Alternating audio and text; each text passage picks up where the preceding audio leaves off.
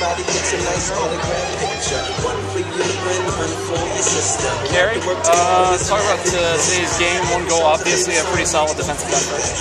Yeah, I mean, we went with a three back today, and that was the first time we tried that, and we thought we did fairly well there. Um, unfortunately, they got behind us that one time and finished that chance. I thought I almost had it off the line, but I guess it must have just crossed.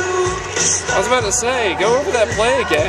I mean, you're, you're chasing the ball down. And Yeah. You don't like you almost had a beat on I it. thought I did, but I, the sideline ref made the call, and I don't know.